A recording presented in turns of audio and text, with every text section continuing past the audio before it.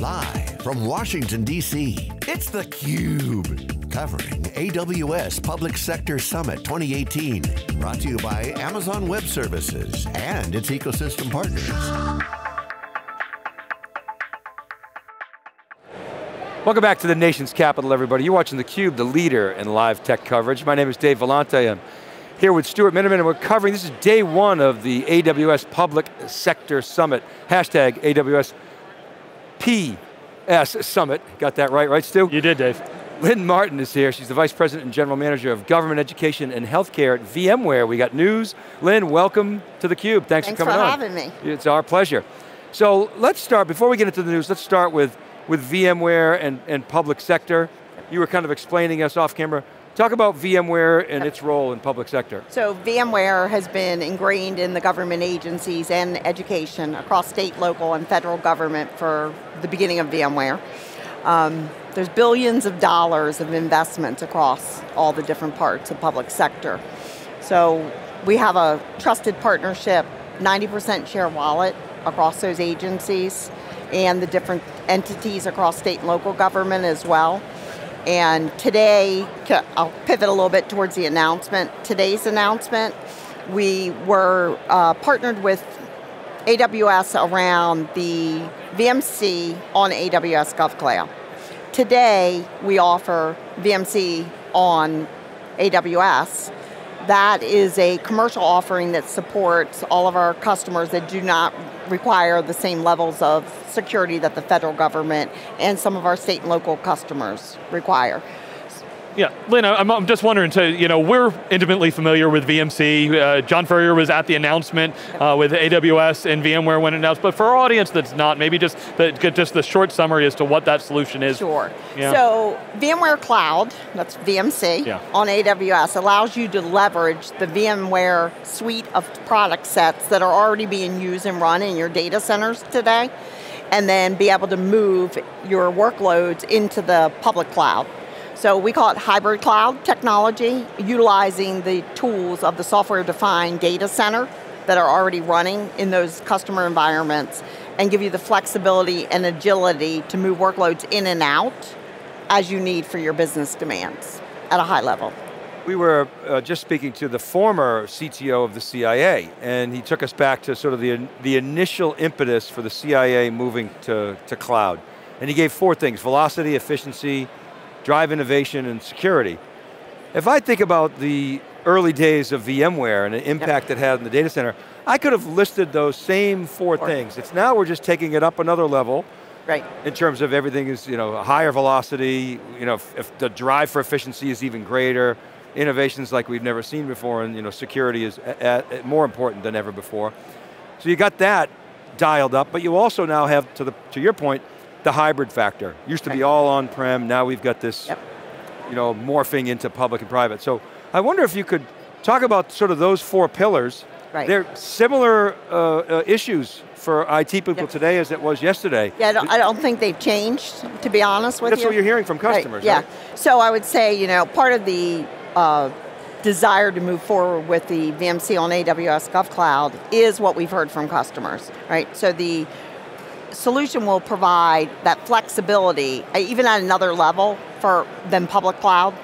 Because today, as most people know, when you go to move your application, CIA is a great one. They started that endeavor, I think, three years ago plus, maybe four. It's coming on, Yeah. yeah, three to four. To get those workloads mo- moved is heavy lifting. So with the flexibility of the VMC on AWS, and I think that's what's interesting in the partnership between Andy and Pat around this, is really being able to take that software layer and being able to move much faster. So a great example would be, MIT had built an on-prem solution with VMware. Just recently, we've moved them to VMC on AWS. Those workloads got moved in days. The first time, it took months and months and months and a year before we could move all 900 workloads. Literally, that was done less than two weeks, and it could go back and forth. So the flexibility for new things when they come up, and then when you wrap that around with the security layers, I think that's what really creates a unique value proposition. So I think public cloud's here. I think you're going to see in the future, over the next three to five years, more and more different cloud providers and hybrid cloud technology with that layer that allows you to figure out where you want to go, when you want to go, unique situations, if you think about the government and missions that come up, that gives you a flexibility to move at a speed that doesn't exist in the marketplace today. Yeah, Lynn, I, remember last year at VMworld, I, I talked to a customer and it, there was a group inside the company that was like, we need to do more cloud, we need to move faster. But from an administrative standpoint, it's like, oh, I well, need to retrain, talent. I need to do things to talent. And they're like, when I told them it's a full VMware stack, they were like, they actually opened up and they were able to move forward. And that was step one in making changes as to how they were building their applications. That was, um, Teresa's keynote today had a slide on the people piece. Yes. And I think one of the biggest benefits today is that your talent is already trained on the VMware tools. So you're not really getting through that mindset of doing everything different and retraining and trying to figure out how to get the expertise in. Those same computer operators that run the VMware environment can now run your cloud environment. That, that's a really important point. I remember when Hadoop first, you know, kind of hit yep. the scene, everybody wanted SQL because they didn't have to, you know, reskill. Exactly. So, and, and, that, you know, was a game changer. And this is part of the, the I want to bring in the, the Modernizing Government uh, Technology Act, right? So to the extent that you don't have to completely reskill, you're going to be able to modernize, modernize faster, right? Right. So, so I think you know, I think today the differentiator from the beginning of VMware was we still had to teach a lot of the workforce how to use the VMware tools. Now, everybody was behind that. If you worked at HP or Dell or IBM, anyone selling hardware for server consolidation, they learned quickly how to spin up a VM and then move. Today, those organizations have invested in other software-defined data center tools, whether it be our networking tools, our storage tools, and then you got the compute layer, and you can abstract that up and then have a management feature that allows you to make your hybrid cloud decisions and look at price points across the market as well. Yeah. So, so with the same people that know how to work that environment and manage it. And I think part of the issues when you look at server virtualization in the early days, I happened to work at another company back then, the challenge we ran into was the change management processes at the government sites. And it took years to transform the workforce into that type of an environment. So an example would be maybe security or backup would be, Correct. I would think, a, easy DR. Yeah, DR, DR, right? Data protection. Or right. new missions for things, or a postal service for the Christmas mailing system. Instead of spending millions of dollars and spin up infrastructure, you spin out to the cloud. Then in January you come back in to your on-prem database. Okay, Lynn wonder if you can help explain a little bit, you know, what goes into getting VMC on GovCloud. We heard from Teresa, there are certain things that was like, oh, Aurora's on there. It's like, oh, we've been talking about Aurora for a while. Yep. So, you know, why isn't it ready day one? What, what's the process to get through it? And can you give us a little visibility as to so, when this will launch? So, what we announced today was our intent to enter into the FedRAMP process jointly. So the engineering teams both are working right now on the solutioning. The differentiator is we already have VMC on AWS, as you guys know, and it's available in quite a few places, and more spinning up and being announced of the AWS locations. It's taking that through the security accreditation processes that the government has, and we will be pursuing FedRAMP High as well as DoD impact levels. So we are going for the highest levels of security, because then you can do everything else after that. Okay, so it's but it's not a days or weeks kind of initiative. This is no. a, a, months plus months. kind of thing. But once but you enter into either. once you enter into the um, FedRAMP process, which we're looking towards fall this year, once you enter in, you actually can start going after procurements in there because you're in process. So so through that. I mean, that's, that's early, you just announced it, but maybe you talked to a few customers beforehand. What's the reaction been? What's the feedback? So we have a list of customers that are fighting to be our sponsor. we have more customers wanting to sponsor it than we can have. So how do you then So and I, and I would say the driver from the market really to push this with VMware was customers. Yeah. Uh, customers were like, VMC on AWS is great, but these customers here that we're talking to at Public, they're all like, we need it on AWS GovCloud. Interesting how things have changed so quickly. I mean, yeah. it was like VMware and AWS were kind of adversaries. There was a lot of fear that, oh, the, the public cloud is going to kill, and then all of a sudden, yeah. these two companies come together and you see this huge momentum. Well, and I think it's a unique value proposition that isn't offered in the marketplace combined.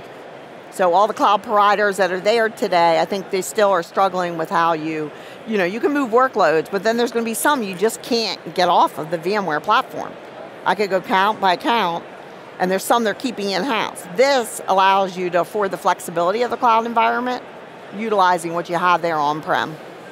Well, and your share of wallet. True hybrid. In your, but your share of wallet makes it different as well because you have right. such a huge footprint.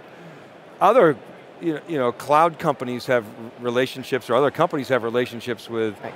with, with, with, cloud companies, but VMware is the standard. For so, virtualization. Right? Yep. So that's kind of, you know, those customers talking, you know, Andy Jassy always says we're customer driven, we're not, you know, competitive driven. I, I mean, I think the and culture. And I think for us as well, I'm sure you guys have talked to yeah, Pat, no like, so even with us, I think we've realized that's a, a good marriage yeah. for us too and our customers it solves a problem that no one else has solved that's very unique. Has the, has the Dell acquisition, what has that changed, if anything, or expanded, or you know, um, culturally? Uh, so I know VMware's largely sort of its own yep. you know, separate entity, but still, right. you know, Michael's around, he's very I just spent last week, yeah. had a bunch of customer meetings here with Dell on the executive yeah. calls with their worldwide sales leader. Um, so I would say that the culture between Dell, legacy Dell, and VMware are very similar. EMC a little different, but the culture between those two were very, very similar. Uh-huh. Um, I think the good news is, and I give Michael Dell a lot of credit for this, with the Dell Technologies, which is a collection of all the companies underneath that, so VMware, Pivotal, SecureWorks, RSA, Dell EMC, et cetera he really has tried to put together a business model that customers get the benefit of that. So when VMware was owned by EMC, we kind of said, oh yeah, you can get EMC, VMware together, but then customers had to write two contracts, customers had to deal with two different. Here, Michael's allowed and created frameworks to allow customers to get the benefits of Dell technology when they want to. They don't have to. VMware still is an independent company and we work with all different companies. But he's created an environment that really is conducive for the teaming for customers' best interests. So then what should we be watching? You know, near term, mid-term, long term in terms of just adoption in, in, in federal, maybe you know, partnerships, ecosystem growth? Yep. So I think you'll see, um, I think you'll see what we're already beginning to see across the marketplace with non-gov cloud adoption. And I would say that the public sector team is actually driving a faster rate of adoption than other parts of our business already. Really, okay. Mm-hmm. Very interesting to see what's going on in all our joint planning meetings with Amazon and VMware and looking at the adoption we're seeing from the government as well as you know, state, and local, and education. And then I think you'll see the ecosystem. So, you know, Teresa and I have worked through who's the right ecosystem, what does that look like, who are yours, what are ours, and you know that's been a big emphasis for AWS. So it's very complementary. We've got distribution set up to be able to enable us across this market because that's important for the markets. And because of the way they procure, we have to do everything uniquely for them.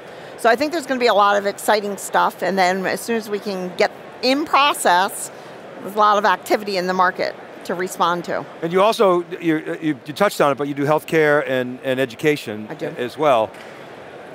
Very quickly, what are the sort of similarities and differences there relative so to I, I see a lot of similarity between all three verticals. Um, they're all unique in their own way, but because they're unique, there's benefits of it being together for VMware. So a great example would be our commercial healthcare business may not have FedRAMP, but they have special certifications for patient records and things that require engineering to build special products a certain way to support our healthcare market. So you can take the same processes and things that we put together and applied for federal and state and local and then apply it to the healthcare market. The other piece I would say is some of the things we're doing first, and I would compliment AWS on this, is they really did a good job of standing up the government business and it provided benefit to the rest of their business as a result of that emphasis in government.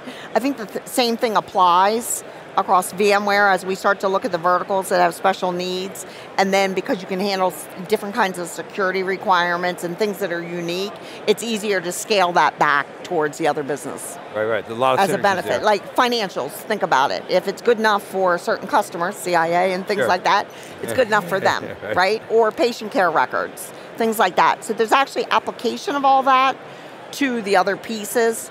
And then there's this 20% that Fed's different because they're Fed, SLED's different because they're SLED, and then healthcare is different because it's healthcare. Yeah. So we see a lot of great synergy. That's relatively new. Last year we merged the healthcare team into the new organization. It's kind of like our kids do. Yeah, that's right. well, Lynn, thanks so much for coming to the Thank you great so having you. Really I enjoyed appreciate it. Thanks so much. All right, keep it right there, buddy. We'll be back with our next guest. Dave Vellante for Stu Miniman. John Furrier is here as well.